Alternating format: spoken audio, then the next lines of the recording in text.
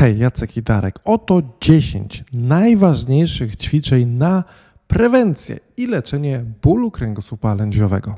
Zapraszamy. Wszystkie 10 ćwiczeń możesz wykonywać wszędzie. Są to proste aktywności, do których nie potrzebujesz żadnych przyborów.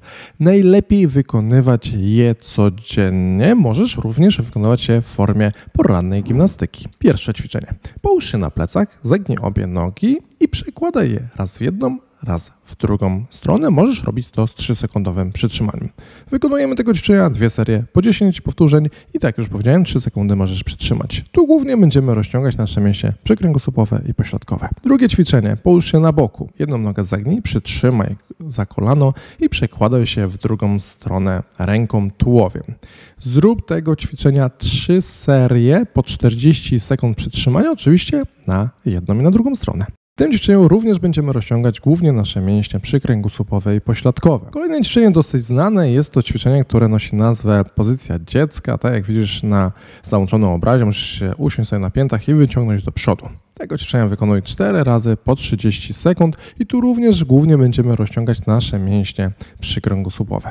Kolejne ćwiczenie to rozciąganie pośladka. Załóż sobie jedną nogę na drugą, przyciągnij obie nogi do klatki piersiowej, przytrzymuj 30 sekund lub czterokrotnie na stronę.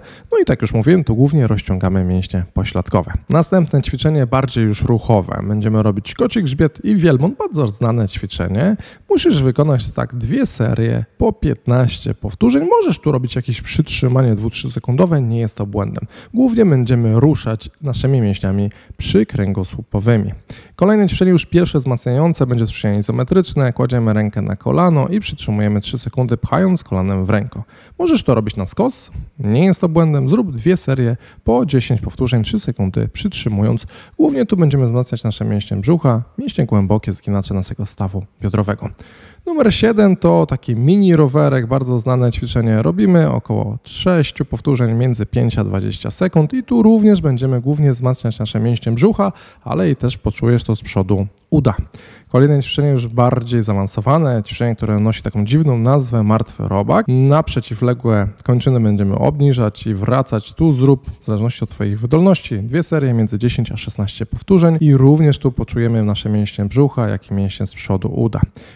Będziemy wzmacniać nasze mięśnie pośladkowe, załóż sobie nogę na nogę i rób wznos. Miednicy oczywiście raz będziemy robić na jedną stronę, raz na drugą.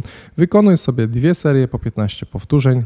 Oczywiście na stronę tu głównie będziemy wzmacniać nasze mięśnie pośladkowe. Ostatnie ćwiczenie lubiane, bardzo znane, noszące nazwę ptak-pies. Jesteśmy w pozycji czworaczej unosimy na przeciwległe kończyny. Wykonuj tego ćwiczenia dwie serie po 10-16 powtórzeń. Możesz zrobić przytrzymanie 2-3 sekundowe. Tu głównie wzmacniamy nasze mięśnie przykręgosłupowe, pośladkowe i mięśnie kulszowo-goleniowe. Na dzisiaj to wszystko. Mamy nadzieję z Dariuszem, że wszystko było jasno przekazane, widoczne, a przede wszystkim, że te aktywności będą dla Ciebie pomocne. Jeżeli poszukujesz większej ilości ćwiczeń, innych materiałów w kierunku bólu kręgosłupa lędźwiowego, dyskopatii, to na końcu tego filmiku zostawiamy dwie sugestie innych filmików do przejrzenia. Kłaniamy się, życząc pięknego weekendu. Dużo ćwiczeń, mało bólu. Pozdrawiamy.